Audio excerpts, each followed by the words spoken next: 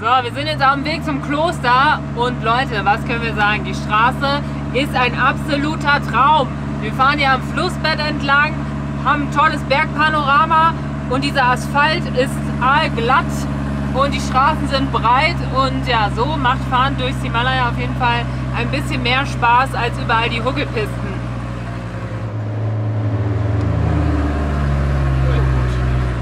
Komm her. Jetzt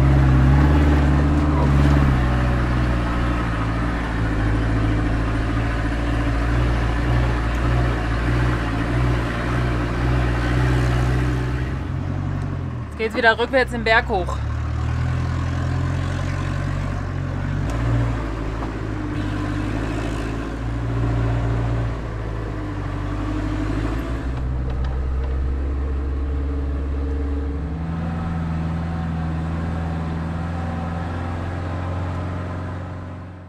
Thank you. Is it okay if we park here? Okay. Na, hoffentlich lohnt sich das, ey. Huh, jetzt sind wir, glaube ich, zwei Kilometer rückwärts hier diesen Berg hochgefahren, weil es echt mega steil ist. Das ist halt so, ne? Ich meine, das hatten wir auch schon in, Italien, irgendwo auf dem Land. Die Autobahnen, die sind halt immer breit und ne, sind nicht so steil und so, aber dann auf einer Landstraße oder jetzt hier die letzte Ecke in irgendeinem Tal zu dem kleinsten Kloster auf dem Berg. Ich meine, ihr habt ja die Berge gesehen. Das sind Ja, halt ja. auch krasse Berge und dann führen da auch krasse Straßen lang, die steil sind, wenn es keine Hauptstraße ist. So ist ja auch normal, wenn das alles so Kloster aus dem 14. Jahrhundert sind, dann können wir froh sein, dass diese Straße hauptsächlich asphaltiert ist. Ja, oh. Na gut. So, wir wurden hier richtig nett empfangen. Es wussten auch alle, wer wir sind, beziehungsweise die Personen, die gerade hier sind. Ähm, unsere deutsche Reisegruppe macht gerade noch einen Spaziergang hier durch die Gegend, was man auch verstehen kann, weil das sieht echt Hammer aus. Aber dieser Tempel alleine ist auch der Hammer. So, das ist das Zerkamo-Kloster. Und da ist halt dieser Mönch aufgewachsen, der jetzt halt in diesem Projekt Himalaya-Haus mit dabei ist. Und schon echt ziemlich beeindruckend. Also so krass dekoriert und bunt und also so, so, so eins hatten wir auch noch nicht. Jetzt wurden wir erstmal hier in diesen Speisesaal oder so gesetzt und haben erstmal einen Tee bekommen. Also es scheint ja echt so gemacht zu sein, dass sie hier viele Gäste und Gruppen empfangen können. Also es ist halt so eine richtige Küche und hier die Schilder sind auch mal auf Englisch und so. Ja, und der Fahrer hat uns empfangen, Naja. während die anderen halt noch spazieren sind. Aber richtig nett und süß irgendwie. Jetzt haben wir uns gerade ganz nett mit diesem Fahrer unterhalten. Das war richtig spannend, weil wir konnten ihm halt voll viele Fragen stellen um Ladakh rum, um die Kultur, um den Buddhismus und das mit dem ganzen Tourismus und so weiter. Und wir haben ihn auch gefragt, was diese ganzen Autos waren, die wir gestern gesehen haben, die so dekoriert waren und wo- die Leute da aus diesem Ladakh Scouts Militärgebäude rauskamen. Und das sind die Leute, die jetzt in Ruhestand gegangen sind. Und vor 10, 50 Jahren war es noch nicht so, aber jetzt wird das so ganz doll zelebriert. Dann kommen die ganzen Leute aus dem Dorf und so. Also eine ganze Feier. Also das als Nachtrag. Und dann haben wir halt einfach noch so allgemein drum geredet, darüber geredet, so mit dem Tourismus hier, dass es ja auch hier jetzt sehr viel ist und dass manche auch kritisch sehen, weil ne, im Buddhismus die Leute leben so sehr mit der Natur, hat er uns erzählt, ne, dann wenn, wenn Erntezeit ist und so, dann wird viel gebetet oder und so weiter. Und jetzt halt mit diesem ganzen Tourismus, Plastikmüll und die Leute fahren hier in die letzte Ecke, alles ne, wird dreckig und die Leute machen Zipline und so weiter. Und da haben hier wohl einige, in der Gegend ist das nicht so stark und dann haben einige Dörfer wohl gesagt, so, äh, ins Nubratal fahren so viele Touris, aber hier nicht. Mensch, warum ist das denn so? Können wir auch sowas anbieten? Aber jetzt sehen die zum Teil auch so diese Schattenseiten davon, dass das irgendwie zu viel ist, die Natur kaputt geht und auch so die Kultur dadurch so ein bisschen verloren geht. Und ja, das war auf jeden Fall sehr spannend. Und dann haben wir auch noch so darüber geredet, wie es im Winter hier ist, ne, dass es hier ganz kalt ist und dann ist natürlich nicht so viel Tourismus, aber es ist natürlich alles ganz anders, weil dann ist es weiß und die, die, die Pässe von, vom Hauptindien hierher sind dann alle zu und man braucht dann Autos mit Schneeketten und so. Also das klang, klang alles schon sehr spannend, wie es hier im Winter auch ist. Da müssen wir vielleicht echt nochmal herkommen, aber dann irgendwie natürlich nicht mit dem Auto. Also auch hier merkt man einfach so ganz klar dieses, ja, ein bisschen mehr Tourismus ist natürlich gut, weil es bringt irgendwie Jobs und sorgt dafür, dass Orte mehr entwickelt werden. Also dann gibt es halt Häuser mit Zentralheizung plötzlich und einen vernünftigen Wasseranschluss und gute Straßen und so weiter. Das macht das Leben von vielen Leuten dann natürlich einfacher. Auf der anderen Seite, wenn es so Massentourismus ist, sorgt es halt irgendwie dafür, dass die Natur total verschmutzt wird, dass Locals irgendwie nicht mehr so richtig dahin kommen, wo sie hinwollen, weil zu viel Verkehrschaos ist, dass sie sich manche Sachen nicht mehr leisten können, weil die Preise allgemein ansteigen und so. Und da hat er auch gesagt, Nachhaltigkeit ist halt auch nachhaltiger Tourismus ist so der Schlüssel zu all dem, dass man so ein bisschen gucken muss, dass es nicht zu viele sind. Und es gibt wohl auch schon echt so Orte, die wirklich sagen, so, ne, gar keinen Bock auf zu viele Touris, weil die halt wieder zurück zu ihren Wurzeln wollen, zu der Verbundenheit in der Natur. Und er meinte halt auch so, ja, die Natur ist irgendwie so wichtig und so schön hier, warum muss man dann so diese Abenteuerangebote machen wie Ziplining und so. Naja, das ist einfach unsere persönliche Meinung und nicht so unser Ding. Aber es war jetzt einfach mega nice, mit ihm so zu quatschen, weil solche Gespräche, ja, dadurch lernt man so viel mehr, als wenn man einfach irgendwo hinfährt und auf dieser Tourismusebene bleibt, anstatt halt mit den Locals so zu quatschen und da ein bisschen tiefer zu gehen.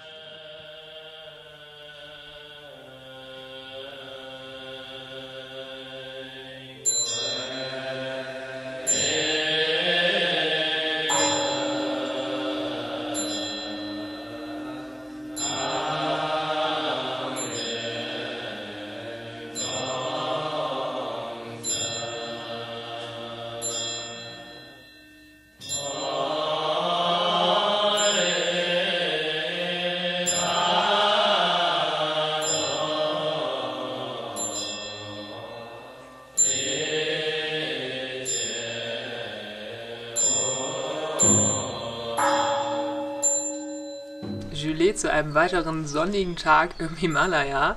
Wir trinken gerade ein bisschen Tee und Kaffee und haben hier gefrühstückt. Die Reisegruppe ist jetzt heute für ihren Tagesplan ausgebrochen und uns wurde aber angeboten, dass wir auf jeden Fall hier bleiben dürfen. Wir wollen uns hier auch nochmal die Gegend angucken, weil das voll schön sein soll. Und wie krass ist das bitte? Jetzt sind wir hier einfach eingeladen in so einem buddhistischen Kloster, wurden super herzlich aufgenommen, dürfen hier wie gesagt irgendwie frühstücken, ähm, uns hier frei bewegen und ja, es ist einfach voll das Glück, dass wir das jetzt so erleben können, weil wir einfach nochmal so einen krass anderen Einblick bekommen. Und wie schön ist es hier einfach, dieser, dieses Bergpanorama, diese Farben, wir sind ganz hin und weg. Wir konnten das gestern Abend dann übrigens nicht mehr ganz so gut filmen, weil es waren natürlich voll viele Leute, mit denen wir uns auch unterhalten haben. Es gab Essen und so. Was gab es da? Es gab Tukpa, das ist eine traditionelle ladakische Gemüsesuppe. Und die wollten wir die ganze Zeit schon mal essen, weil Momos sind gar nicht so traditionell ladakisch, sondern eher tibetisch. Aber jetzt haben wir die probiert und haben uns da richtig doll darüber gefreut, dass es die gab. Und der Mönch hat sich auch sehr gefreut, dass wir uns so gefreut haben. Ja, und dieses Kloster ist übrigens entstanden, das vor 700 oder 800 Jahren hat ein Mönch den Auftrag bekommen aus ne, damals Tibet oder China, der solle irgendwo ein Kloster gründen und da sollte es welchen Baum? Einen Wacholderbaum geben und eine Quelle und dann ist er halt hier durchs Land geirrt und hat dann irgendwann einen tollen Wacholderbaum gefunden, den es immer noch gibt und hat erstmal gedacht, ja okay, dann nehme ich das jetzt und hat dann ein bisschen später erst die Quelle entdeckt, also voll krass und dann gibt es ja wohl noch so eine Höhle, wo wir gleich auch nochmal hingehen, wo dann das Kloster quasi angefangen hat. Mhm. Und jetzt ist das hier echt so ein schickes, prunkvolles, total schön dekoriertes, so fein überall angemaltes Kloster. Also schon echt beeindruckend und das hier so in dieser leeren Berglandschaft. Also schon richtig krass. Hier wären wir auf jeden Fall nicht mal eben hingekommen, hätten die nee. nicht gesagt, hier auf der Karte kommt mal nee. uns besuchen. Ich glaube, hier kommt niemand hin. Ja, das ist so abgelegen und halt da dementsprechend voll besonders und so. Wobei es jetzt auch ziemlich modern ist, muss man sagen, und halt anders als die ganz alten Kloster, die nicht so prunkvoll dekoriert mhm. sind. Wobei die Tempel und Stupas sind ja immer so prunkvoll. Ja. Und diese Reisegruppe, das ist übrigens der Globetrotter Club, die irgendwie alle, deswegen waren die auch so interessiert und irgendwie so, wir haben schon, wir haben schon ja. gemerkt, so, hä, das sind irgendwie nicht nur normale Menschen, sondern die reisen irgendwie auch viel. Und ja. ne, das machen die auch. Die reisen alle sehr viel durch die Welt. Und jetzt machen die zum ersten Mal irgendwie so eine große Gruppenreise, weil dieses Himalaya-Projekt, von dem wir euch ja auch schon erzählt haben, wozu ja auch hier der Lama gehört. Äh, die haben halt in Deutschland immer so Vorträge gemacht und dann und auch dieser Mann, der das mitorganisiert und dann lernen die mal Leute kennen und ne, so haben, hat dieser Club die auch kennengelernt bei so einem Vortrag und dann irgendwann ne, davon gehört, dass die auch irgendwie so Touren quasi hier organisieren können und deswegen machen die jetzt hier zum ersten Mal so eine Gruppenreise, sind jetzt heute auch schon wieder unterwegs. Ja, aber es sind halt richtig spannende Individuen, die halt schon vor 30, 40 Jahren unterwegs waren, mit dem Auto durch die Anden. Jetzt ist einer irgendwie auch in, mit seinem Auto eigentlich in Afrika irgendwo und macht jetzt hier kurz diesen Trip als Zwischenstation und fliegt dann wieder zurück, um zu seinem Auto zu gelangen. Und also deswegen hatten wir auch so coole Gespräche gestern, weil das einfach da nochmal eine andere Ebene ist, auf der man sich unterhält, wenn man so unter Reisenden ist. Und wir haben dann ganz viele Tipps bekommen noch vom Mönch, wo wir so hin können die nächsten Tage. Mhm. Ist auf jeden Fall sehr besonders. No. Hier kommt dann irgendwo die Quelle aus dem Berg und es gibt eine wasserbetriebene Gebetsmühle. Wie lustig ist das denn? Wir haben gestern ja wirklich mit vielen Leuten gesprochen und haben dabei noch gelernt, dass Village Duty, also die Pflichten, wo die Mönche so tagsüber hinfahren und weswegen wir bei den Klostern immer keine sehen, sind auch so Sachen wie bei der Geburt dabei sein, beim Tod und Leute zu begleiten und teilweise sind sie halt dann bis zu zehn Tagen irgendwie bei Leuten, die gerade im Sterben liegen und so weiter. Und natürlich ähm, sorgen die auch dafür, dass die Tempel weiter gut aussehen und sauber sind und so weiter. Aber die sind wohl auch sehr gefragt bei gläubigen DorfbewohnerInnen und dementsprechend, ne, die Dörfer sind ja teilweise auch nicht mal eben um die Ecke, ähm, sind die halt alle sehr, sehr beschäftigt.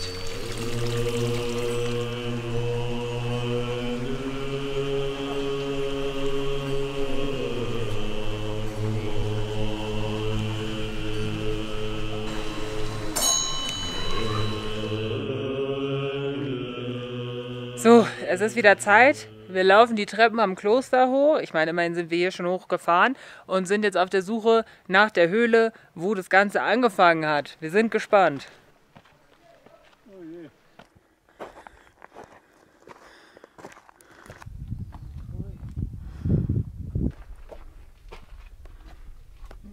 Wir glauben, wir haben jetzt die ursprüngliche Höhle gefunden. Sieht auf jeden Fall so aus. Aber natürlich auch ein bisschen modernisiert mit so einer Tür und so. Hammer. Das ist echt der Hammer. Da ist hier vor 800 Jahren dieser Mönch hier angekommen, hat in dieser Höhle gelebt. Und dann wurde irgendwann das ältere Kloster gebaut und jetzt das neue. Schon spannend hier die Geschichte.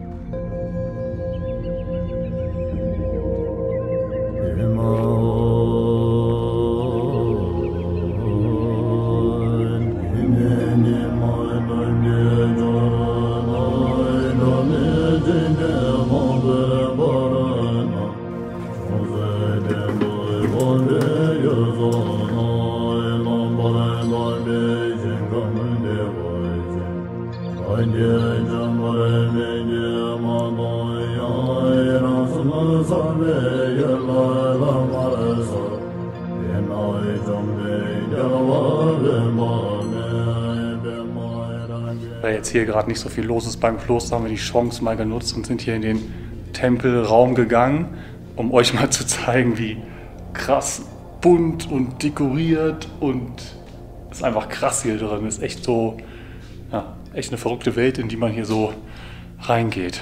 Es ist halt echt so ein krasser Kontrast zu so, weiß ich nicht, Kirchen aus dem Mittelalter, so gotischen Kirchen, die alle so dunkel und irgendwie so ein bisschen unheimlich wirken und dann hängen da so riesige Gemälde von, der, also von Jesus am Kreuz und die sehen immer so ein bisschen brutal aus und alle leiden irgendwie, weil Maria dann auf dem Bild auch traurig ist natürlich und so weiter. Und hier ist es alles so bunt und irgendwie positiv und fröhlich. Also es ist echt ein, also ich finde auch Kunstgeschichte in, auch in christlichen Kirchen finde ich das auch spannend und ich liebe es auch Kirchen anzugucken. Aber ja, das ist hier schon auf jeden Fall nochmal echt anders, wie bunt und fröhlich und dadurch so ein bisschen positiver es alles irgendwie wirkt.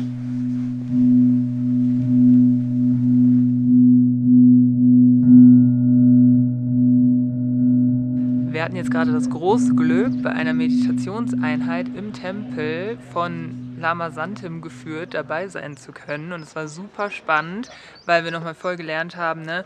Wir haben ja schon viel über Meditation, ist ja auch in der westlichen Welt und so, aber hier ging es jetzt nochmal wirklich darum, wie die Buddhistinnen das denn machen. Und da geht es vor allem natürlich auch um den Atem, weil den hat man immer dabei, egal wo man ist. Eine Klangschale wahrscheinlich eher nicht. Und deswegen muss man sich darauf immer sehr konzentrieren. Und ja, er hat uns ganz viele verschiedene Tipps und Sachen gezeigt, zum Beispiel, dass der Ringfinger ähm, im Buddhismus als der Gefühlsfinger geht. Und wenn man dann zum Beispiel sich im Schneidersitz hinsetzt, dann berührt man den und klappt die Hände so zusammen. Dann hat man an beiden Händen dieses Zeichen, weil man sich bei der Meditation halt auf seine Gefühle und Gedanken konzentrieren möchte und so weiter. Also es war richtig spannend, voll schön und ja, wir haben uns voll gefreut, dabei sein zu können. Ja, war auf jeden Fall richtig cool, bei sowas dabei zu sein, weil wir waren jetzt schon in einigen Klöstern und haben uns immer gewünscht, so, oh, vielleicht ist da irgendwie eine Veranstaltung oder irgendwas, wo man mitmachen kann oder dass man sieht, so wie die jetzt hier so leben und meditieren und so weiter. Und deswegen war es voll cool. Und zwar war richtig lustig, wie Lama Samten da vorne dann in der Mitte saß, so vor ne, diesem ganzen Buddha und so. Und dann haben wir halt erstmal so diese, diese Atemübung gemacht und dann halt so mehrere Minuten meditiert, also einfach so in sich gehen, atmen und dabei soll man auch mal so ein bisschen lächeln, also so positive Gedanken haben, deswegen so diese Buddha-Figuren, die lächeln ja auch mal so ein bisschen und wie er da so saß, das sah so hammer aus. Er sah echt auch schon selber aus wie so ein Buddha. Das war richtig cool. Das war halt richtig lustig, ne? Er saß so in der Mitte quasi oder vor diesem, vor der Statue auf so einem Kissen, in äh, Beine überkreuzt, total gerade, voll erhaben, hat dann da irgendwie halt meditiert und so und das angeleitet und wir alle irgendwann so, boah, jetzt muss ich meine Beine mal strecken, oh, mir tut alles weh, oh, dieses gerade Sitzen, voll anstrengend. Und dann hat er halt geatmet und es war so voll abgestimmt und so und dann haben wir geatmet und dann wir alle so irgendwie komisch am Schnaufen, weil wir das halt einfach nicht gelernt und nicht gewöhnt sind, ne? Nicht gelernt haben und nicht gewöhnt sind.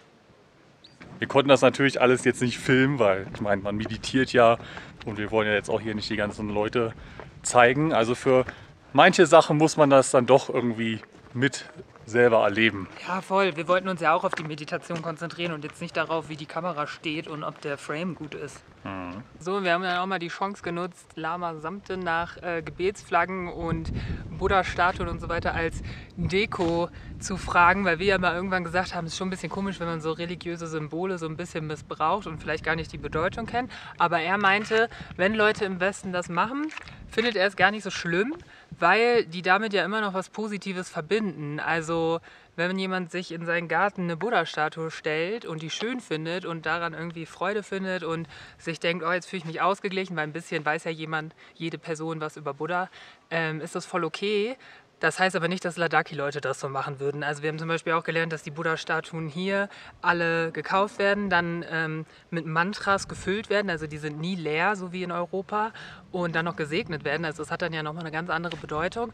Aber ja, auch so mit den Gebetsflaggen. Also alle äh, Leute, die auch mit uns in Nepal waren und so weiter und sich eine Gebets äh, Fahnengirlande quasi gekauft haben und die jetzt in ihren Vans haben. Unser Lama findet das in Ordnung und ja, wir finden es immer spannend, solche Fragen zu stellen, weil wir können das ja nicht beurteilen, weil wir sind ja quasi nicht betroffen, weil wir sind keine Buddhistinnen und haben das wieder ja, gelernt und werden wahrscheinlich noch weitere Personen solche Fragen stellen. Er hat uns ein Beispiel erzählt, da ist er in Deutschland bei Freunden im Haus eingeladen worden und war dann dort auf Toilette und viele stellen sich so einen Buddha ja ins Bad und dann war halt in der Toilette so eine Buddha-Statue. Und dann konnte er halt auch nicht aufs Klo gehen, weil das geht einfach nicht und hat die halt gebeten, den da rauszustellen.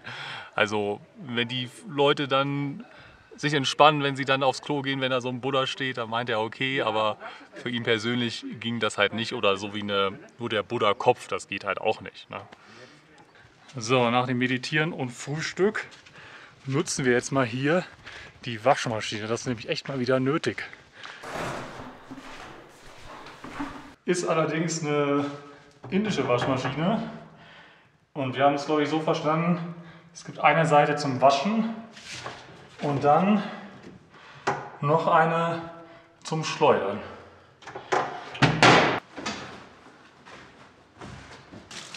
Okay.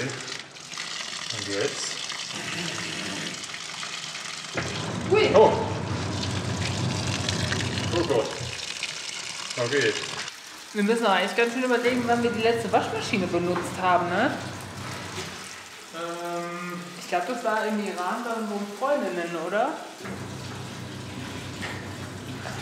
Das Ir ist irgendwo in. irgendwo in Indien? Nee, ne? Nee. Okay, ja, dann vor, vor ah, Ja, oder in Pakistan waren wir einmal bei diesem Waschsalon in Lahore, wo meine Wäsche da ganz nass war. Ah, ja. Also ein halbes Jahr ist es her, seitdem wir eine Waschmaschine benutzt haben. Wir haben sonst immer alles per Hand gewaschen. Man kann das auch so abgeben. Aber ich finde es auch ein bisschen komisch, wenn fremde Leute per Hand unsere Wäsche waschen müssen. Aber gut. Weil unsere Wäsche so dreckig war, machen wir jetzt einen zweiten Waschgang. Wobei die machen auch immer nur eine Viertelstunde. Aber das Wasser war schon sehr, sehr dunkel. Und es ist einfach, ja, es ist einfach sehr dringend, dass wir mal wieder ein bisschen wirklich saubere Wäsche haben.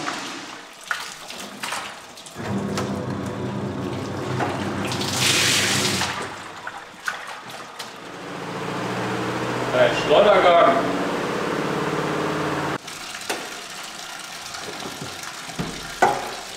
Naja, ist jetzt schon trockener.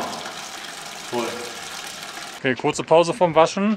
Jetzt gibt es Mittagessen im Garten, da wo dieser Teich ist und die Quelle. Ja, es gibt so ein Picknick. Ah, das ist ja toll. Ja. Und hier sind übrigens die ganzen Räume, wo die Leute übernachten können. Also es ist echt gut dafür ausgelegt, dass hier viele Leute kommen. Und es ist halt voll spannend, dass es nicht so was wie einen Flur gibt, von dem, also kein Haus, was stimmt. überdacht ist. Ne? Alles ist so Ja. offen hier. Oh je, und obwohl es im Winter so kalt Ja, wird. genau. Das ist ja der Hammer, ey. So, wir haben jetzt hier unser Hammer-Mittagessen. Reis natürlich, dann Bohnen. Hier diese Soja-Kügelchen mit Bohnen. Dann noch so ein Curry, das Brot. Kartoffeln und Morgen wie Blumenkohl. ein Salat. Hammer. Also ich muss sagen, es wurde gesagt, für Picknicken im Park, da habe ich nicht so ein Nee. 500-Gänge-Menü erwartet. Richtig krass. Und ich habe mein Besteck vergessen. Na, na dann los. Ganz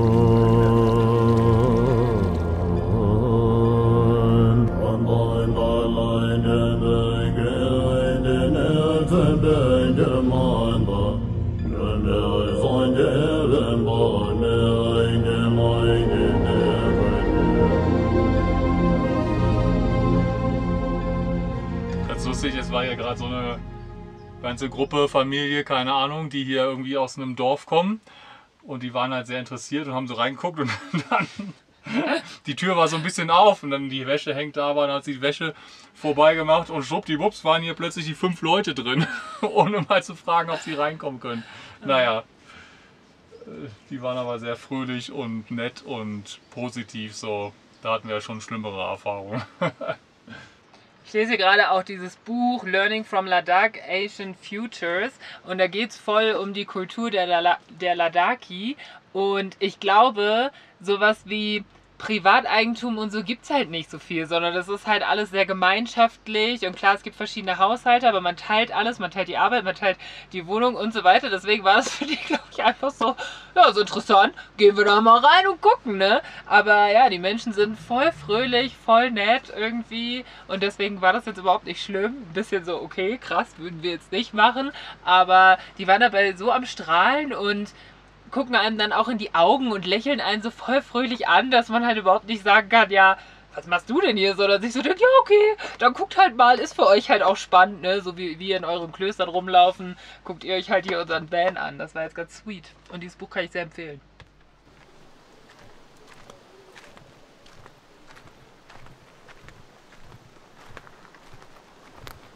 Tada! So sieht's bei uns aus. Wenn wir nach Monaten mal wieder Wäsche waschen. Hammer. So, ein weiterer Tag, ein weiteres Abenteuer. Heute gehen wir zur Familie von Lama Samten in dem nächsten Dorf, wo wir auch schon mal hingelaufen sind, weil da gibt es besseren äh, Handyempfang. Hier ist nämlich gar nichts mehr. Wir haben heute noch mal ganz viel Wäsche gewaschen, Bettwäsche auch mal gewaschen, endlich mal wieder. Und jetzt laufen wir alle darüber zu der Familie. Wir sind gespannt, was es zu essen gibt, wie es dort aussieht und so weiter. Jetzt laufen wir gerade beim wunderschönen Sonnenuntergang oder letzten Sonnenstrahlen runter und guckt mal, wie das aussieht. Hammer.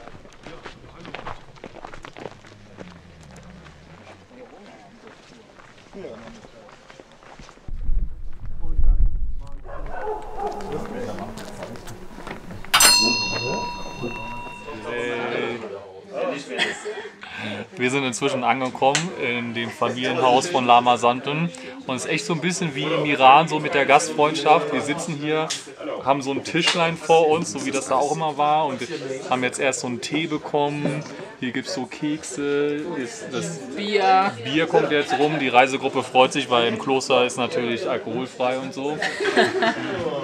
Aber ja, wir sind halt auch nicht nur wir beide wie im Iran, sondern wir sind eine richtig große Gruppe. Ja, ja, 20 Leute hier. Und die ganze Familie ist hier. Also Es kommen noch mehr Snacks und dann gibt es auch noch Abendessen. Jetzt dürfen wir den traditionellen Buttertee probieren und haben dabei gelernt, dass es gar keinen Yak-Käse gibt, weil Yak nur die männlichen Tiere sind. Die weiblichen heißen die. Also ist das jetzt hier die Buttertee. Und das ist so salzig und wird schon seit Jahrhunderten getrunken und ist sehr nährstoffreich und fett natürlich, aber im Winter dann natürlich wahrscheinlich sehr gut. Oh, schmeckt wie salzige Butter zum Trinken. So, jetzt gibt es auch noch Chang, das ist quasi gegorene Gerste, so eine Art Bier, könnte man sagen. Und das ist auch ganz traditionell, da habe ich schon viel drüber gelesen. Ja, schmeckt genauso, wie man sich gegorenes Getreide so vorstellt, aber ganz lecker. Und weil wir alle hinter so Tischen sitzen, gehen die jetzt rum. Also ich weiß nicht, vielleicht ist das ja immer so, aber jetzt gehen äh, ganz viele Menschen aus der Familie rum und alle haben einen Topf in der Hand und dann können wir uns immer nehmen. Ich habe jetzt hier schon Reis, grünes Gemüse, Nudeln, Linsen, ein Brot. Unglaublich. Was kommt als nächstes? Der Hammer, mega lecker das Essen. Und die gehen weiterhin hier alle rum und dann kann man sich die ganze Zeit nachnehmen.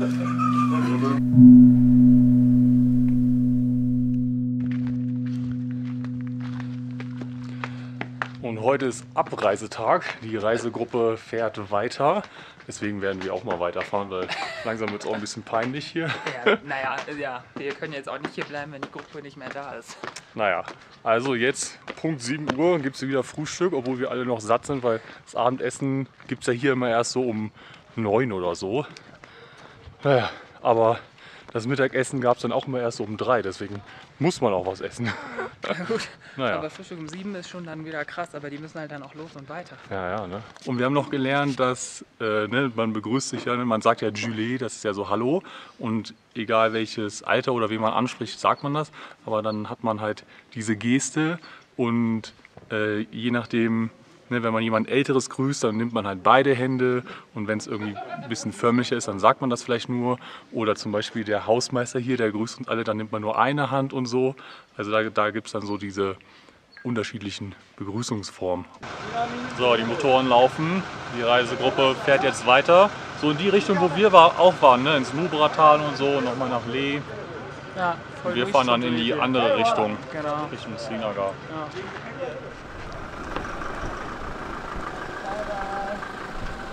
Wart noch! So, jetzt haben wir das Kloster für uns. Uh. Also- ja, hier laufen schon ein paar Mönche und der Hausmeister und so rum, Ach glaube so. ich. Sind jetzt nicht alle gefahren, aber die deutsche Jetzt können wir in den Tempel gehen und meditieren und dann heben wir auch so ab, so wie Lama Santen. Ja. So, alle sind abgereist und wir haben ja auch nur noch elf Tage Visum in Indien. Deswegen ist es für uns auch an der Zeit weiterzufahren. Wir haben noch so ein paar Punkte, die wir hier, hier und dort so anschauen wollen, bevor wir dann in die Hitze runter ins Hauptindien fahren. Genau, das wollen wir so weit es geht vermeiden. Und da werden wir nur durchpreschen. Ja, Wir wurden ja super herzlich von Lama Samten und dem ganzen Kloster aufgenommen und haben natürlich auch gefragt, wie wir was wieder zurückgeben können. Und er hat gesagt, er würde sich freuen, wenn wir einfach kurz erwähnen, dass er eine Organisation hat. Das heißt das Himalaya Haus. Könnt ihr einfach mal auf der Website gucken, das verlinken wir euch unten. Die bauen Schulen, die machen so Patenschaften, Waisenhäuser und gucken einfach, dass benachteiligte Leute in der Region ein besseres Leben führen können und sind da sehr auf den Austausch mit Deutschland und so weiter angewiesen. Er spricht ja auch Deutsch und ist oft in Deutschland und wir werden das auch auf jeden Fall weiter verfolgen und unterstützen. Und wenn ihr auch so eine Reise machen möchtet, Heinz Zimmer, der das hier mitorganisiert, der ist schon seit den 70ern in Ladakh unterwegs, ziemlich oft. Und zusammen mit Lama Samten machen die halt diese Touren für, also wenn ihr irgendwie eine Gruppe seid und ihr wollt irgendwie richtig super hier Ladakh und die Himalaya-Region und den tibetischen Buddhismus kennenlernen, dann sind die die beste Adresse dafür. Also wir haben ja jetzt schon die zweite Reisegruppe getroffen ne, und die klappern hier so ein paar Orte ab und ich glaube, noch besser kann man irgendwie so eine Reise hier gar nicht machen, weil Nee, wir waren ja jetzt nur zwei Ta vier Tage mit denen unterwegs und haben einfach, dadurch, dass man einfach mit Lama Sampen und Heinz reden kann, so viel mehr nochmal gelernt Ja. als in den Wochen zuvor, weil man einfach diesen lokalen Kontakt hat und dann einfach ich meinen Mönch Fragen stellen kann. Und Ja. der spricht sogar Deutsch, also es ist echt super toll und ein bisschen traurig sind wir auch, dass wir jetzt nicht noch weiter mitreisen können, weil man einfach nochmal hätte viel mehr lernen können. Ja, und durch diese Reise wird halt dieses Projekt Himalaya Haus dann auch direkt mit unterstützt. Ja, ja, und dann gibt es noch, haben wir ja jetzt auch schon oft erwähnt, diesen Verein DZG. Wofür steht das nochmal? Deutsche Zentrale für Globetrotter. Genau, und da haben wir jetzt auch mit echt vielen Leuten gesprochen, die alle super spannende Reisegeschichten zu erzählen Mhm. haben. Also wenn ihr da Interesse habt, die haben irgendwie, machen so Stammtische und Treffen und Vorträge in verschiedenen Städten in Deutschland. Also ich habe da eben mal reingeguckt. Also Wuppertal, Bremen, Dortmund, Berlin, München. Also überall kann man da sich informieren, mitmachen, Vorträge anhören und ja, dann zusammen vielleicht auch mal so eine Reise machen. Also Ja, genau. sind jetzt hier zusammen hergefahren. Ja, Alle. die sind jetzt hier, waren aber auch schon mal in Spitzbergen oder irgendwo in Delhi. Und wenn ihr irgendwie viel alleine reist und aber mal Lust habt, euch mit anderen mehr auszutauschen, ist das vielleicht Ja. eine gute Idee. Wir Sowohl Leute, die wandern gehen, als auch ne, viele haben auch irgendwie einen Outdoor- und Offroader, die dann irgendwie durch Afrika da düsen und oder so. Fahrradreisende, also es alles. ist total divers und für uns war es halt auch voll spannend, weil viele von denen sind jetzt nicht in unserem Alter, sondern erzählen dann halt auch, wie es früher war und so und dieser Intergener dieser Generationenaustausch ist für uns halt auch voll cool. Das lohnt sich auf jeden Fall und das ist, man hat ja immer diese Gemeinsamkeit, dass man zusammen reist oder nicht zusammen, sondern dass man gerne reist und das ist dann echt ganz cool. Ja, für uns geht's jetzt weiter. Wir haben nur noch elf Tage Visum. Ist voll traurig. Wir werden jetzt hier und dort noch so ein paar Sachen uns anschauen und bevor wir dann äh, runter in die Hitze fahren. Ja. Müssen wir durch.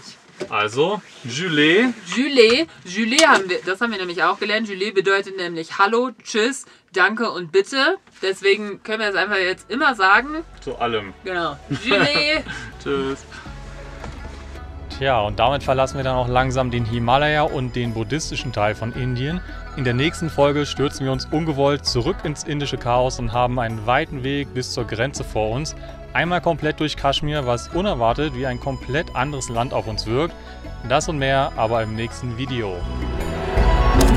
Mani Padme Hum, Mani Padme Hum, Om Mani Padme Hum, Om Mani Padme 많이 뵙네요.